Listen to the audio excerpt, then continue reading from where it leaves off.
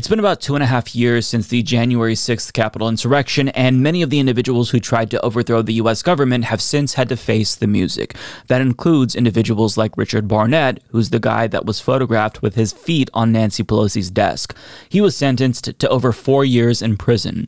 Now there's also Stewart Rhodes, the founder of the Oath Keepers, who was sentenced to 18 years for seditious conspiracy. And of course, there is Jacob Chansley, aka the QAnon shaman, who served about 27 months months of his 41 month sentence, but was released early. Now, those are just some of the more recognizable people involved in the Capitol insurrection, but there were many, many more people who participated and have since been convicted. Politico reports more than 1,033 of the rioters have been arrested, with approximately 485 federal defendants receiving sentences. About 277 defendants have been sentenced to time behind bars, and roughly 113 defendants have been sentenced to a period of home detention. So lots of people have been held accountable for their actions on January 6th. One of the lesser known insurrectionists, however, is Jessica Watkins, the woman pictured behind me. She's an Army veteran and Oath Keepers member who was sentenced to eight and a half years in prison, and her story is very unique. Politico continues Watkins' attorney said that the trauma and rejection from her friends and family due to her being transgender was what pushed her to be dragged into conspiracy theories around the 2020 election and to eventually take part in the riot. So it's interesting because situations often lead people to radicalization, right? COVID 19, that time, you know, at home during self quarantine, that's how a lot of people got involved in QAnon. But this lady got involved in, I guess, election denialism because she didn't know how to process her family rejecting her for being trans. So that's where she found some sort of comfort or identity. At least that's what her attorneys say. Now, during her trial, she tearfully explained how she struggled with her identity as a trans woman while she was in the military, and she was in the military during the Don't Ask, Don't Tell era. Now, for those of you who don't know, Don't Ask, Don't Tell was a policy that meant that any LGBTQ plus person who came out while they were in the military was dishonorably discharged. But Ironically, she went on to riot for a president that banned trans people from participating in the military.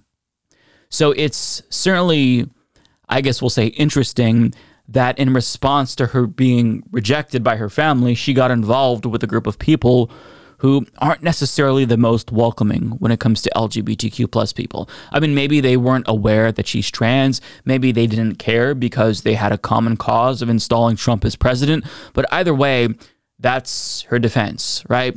But putting aside her identity for a moment, she wasn't just another participant in the insurrection. She was a leader, in fact. As CNN explains, at trial, prosecutors showed evidence that Watkins founded and led a small militia in Ohio and mobilized her group in coordination with the Oath Keepers to Washington, D.C. on January 6th.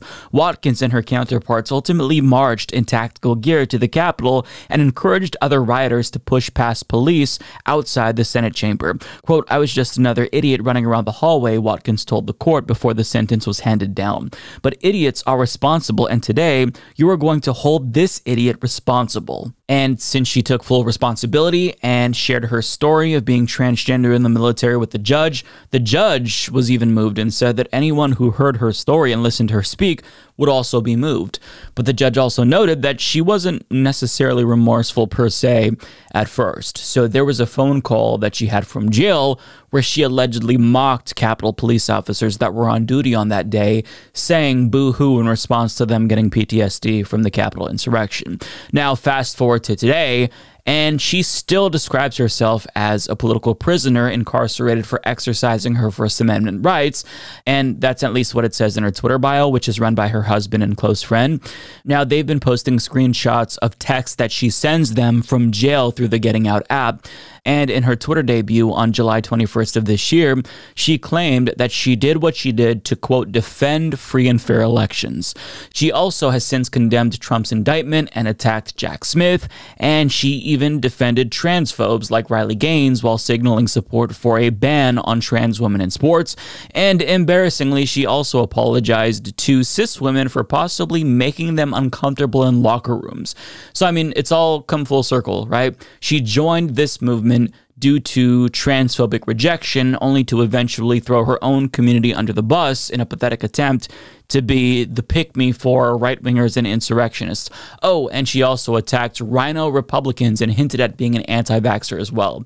So, uh, in other words, she's still about that bullshit and is a full blown MAGA chud till this day who seemingly said what she needed to say at the trial to garner sympathy. So, this isn't necessarily the redemption arc that I was hoping for, but despite her idiocy politically, she's shedding some light on a really important issue, one that is unique to trans people who are incarcerated. For example, on July 23rd, she tweeted, I transitioned to female 20 years ago. Do I look like I belong in a men's prison? The Bureau of Prisons under the Biden administration listed me as male on documentation for the first time in nearly two decades. And she's made this post multiple times with different pictures of herself showing that her sex is listed as male. And she's currently serving in a men's jail and is at risk of being transported to a men's prison. And on top of that, she's being denied crucial medical care that she needs. And in response, she shared this call to action where she encourages her followers to call the Federal Bureau of Prisons in order to urge them to not put her in a men's prison against the judge's orders. And as you can see, she also shares Matt Gaetz and Marjorie Greene's numbers in hopes that they take action on her behalf, but we'll come back to that in a moment. And she also shared the contact information for the U.S. Marshal's Office in hopes that people will call and pressure them to help her get the medical care that she needs for a potential cancerous growth that she needs to have removed. Now, these are very serious issues, and we'll talk about the broader issues that inmates and trans inmates in particular deal with when they are incarcerated. But first, we have to address the elephant in the room. That is her tagging Matt Gaetz and Marjorie Taylor Greene. Now, I think we all know why she did it. These are two lawmakers who are insurrectionists themselves. Marjorie Taylor Greene, in particular, always refers to uh, January 6 insurrectionists as political prisoners. So, I mean, it makes sense that an insurrectionist would want to get their attention in order to get support. But I mean, on the other hand, these are two of the most vicious transphobes in Congress, especially Marjorie Taylor Greene, who don't view her as an equal, despite her status as an insurrectionist. This is what Marjorie Taylor Greene wrote in response to legislation introduced by Pramila Jayapal that would give trans people more legal protections. So she dismissed it as mentally unstable wokeness and called it the most insane piece of legislation she's ever seen. She also suggested that it would lead to, quote, transtifa riots and rejected the idea of a ban on discrimination based on gender identity, writing, that means trans become a protected class and women's rights are totally and completely completely annihilated. Men pretending to be women would not just be equal to women in all areas, they would be preferred and above all women, essentially replacing women. Now, in the very next sentence, she pointed out how the legislation would improve conditions for trans inmates.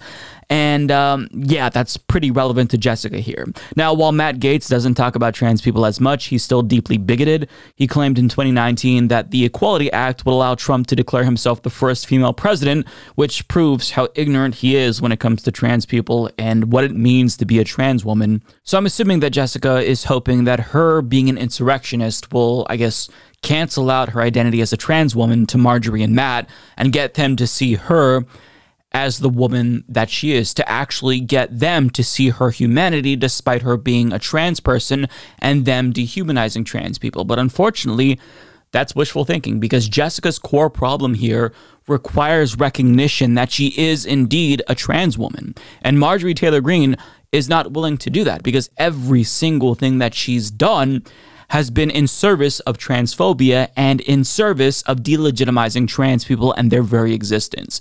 But here's the thing Jessica is a woman, and since she's a woman, she should serve her time in a women's prison like other female inmates get to. But that's why Marjorie Taylor Greene isn't going to advocate for her because she fundamentally rejects the idea that trans women are women and she doesn't think that they are valid. So this isn't an insurrectionist issue to Marjorie Taylor Greene.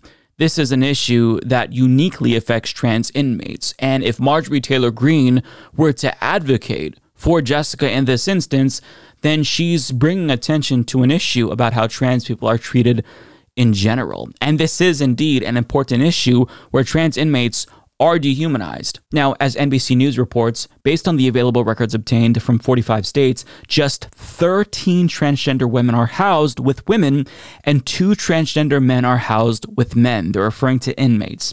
In Texas, which has one of the largest incarcerated populations in the country, none of the 980 transgender prisoners live in gender affirming housing. The state's 891 transgender women are housed with men, and its 89 men are housed with women. Pennsylvania's 214 transgender prisoners are all incarcerated according to their sex assigned at birth, as are Wisconsin's 173 transgender prisoners. These housing decisions can have dire consequences. 35% of transgender people who had spent time in prison in the previous year reported being sexually assaulted by staff or fellow prisoners, according to a 2015 report by the Department of Justice. Advocates say that the figure for transsexual assaults is likely an undercount because sexual assaults are underreported. Many of the current and former transgender prisoners said guards dismissed their reports or retaliated against them for reporting. Transgender prisoners are also unable to express their gender in the most basic ways, including being called by a name that reflects who they are, they said. In response to questions, some state prison representatives said they only moved transgender prisoners if the prisoners had received gender confirmation surgery, regardless of their housing preferences. Others said that they review prisoners' transfer requests on a case by case basis as required by law. Most said they are fully compliant with federal law on housing transgender prisoners prisoners. But here's the thing they're not complying with the law. The Prison Rape Elimination Act went into effect in 2012, and that law requires prisons to regularly interview trans inmates every six months and ask them where they feel safest. And they also have to hear their concerns, and they're supposed to take them into effect and even consider if there are threats to these trans inmates. And if they violate this law, they risk losing 5% in federal funding. The problem with the law is that it relies on the discretion of prisons ultimately. And even if a trans woman, for example, expresses that she fears violence if she's placed with male prisoners, they can just choose to disagree and place her with men. And out of the 4,890 transgender state prisoners that NBC News was able to track in 2020, 15 were housed with inmates who shared their gender just 15, meaning that the overwhelming majority of trans inmates are housed with prisoners of the opposite gender. So this issue is systemic. Jessica is not the only transgender inmate to experience discrimination in this form within the prison system. And you might think, well, I mean, she's a Trump supporting insurrectionist, so who cares about her? But let me tell you why that's wrong. First of all, all human beings deserve dignity, including inmates. And Jessica is serving her time just like all the other insurrectionists who were convicted. But because she's trans, she risks being placed in a population that makes her vulnerable to rape and violence, unlike the cis insurrectionists like Stewart Rhodes or Richard Barnett. So the question is why should she endure a harsher punishment specifically because she's trans? The answer is she shouldn't. It's extremely unfair. So, I mean, you can disagree with her politics and find her sentence justified, as I do, but she shouldn't have to face a steeper penalty for simply being trans. And finally, if we're okay with one trans person's gender identity being invalidated because of her disgusting political views and actions, then we're communicating to all of our trans friends and family members that we think that someone's gender identity is up for debate and should be violated if the trans person in question is bad. But I mean, think of the message that that sends to trans people. It tells them that you were never really a true ally or that your support is conditional on them being a good person. But I mean, if you sour on them, then you suddenly have permission to reject their identity. That's not okay. That's not the way that being an ally works. LGBTQ plus people, like all people, can be shitty people. They can be mean. They can even be insurrectionists, as we've learned. But I mean, being a bad person shouldn't make us okay with discrimination against someone on the basis of their immutable characteristics. I think that making fun of Jessica's insane political views is fair game, right? And it's fine to point out that she is very clearly one of the people who uh, voted for the leopards eating people's faces party and then never thought that the leopards would eat her face. But at the end of the day, this isn't a moral dilemma to me in the same way that it would be for someone like Marjorie Taylor Greene. Trans women are women. Therefore, Jessica shouldn't be placed in a men's prison. She should be in a women's prison where she belongs. Period. All trans inmates should receive fair treatment But unfortunately for Jessica, Marjorie Taylor Greene isn't coming to the rescue for her anytime soon because supporting Jessica would require her to violate her anti trans disposition. But with that being said, Republicans are also hypocritical. So I'd be happy if Marjorie Greene proved me wrong, but unfortunately for Jessica, I just don't think that that's going to be the case. Play stupid games. Play stupid games, win stupid prizes. Play stupid games, win stupid prizes. Play stupid games. F around and find out. Prizes. Play stupid games, win stupid prizes. Play stupid games, win stupid prizes. Play stupid games, win stupid prizes. Play stupid game, game, game, game, game. Pride. Trans rights are human rights. It is necessary to push trans on the kids. Pride.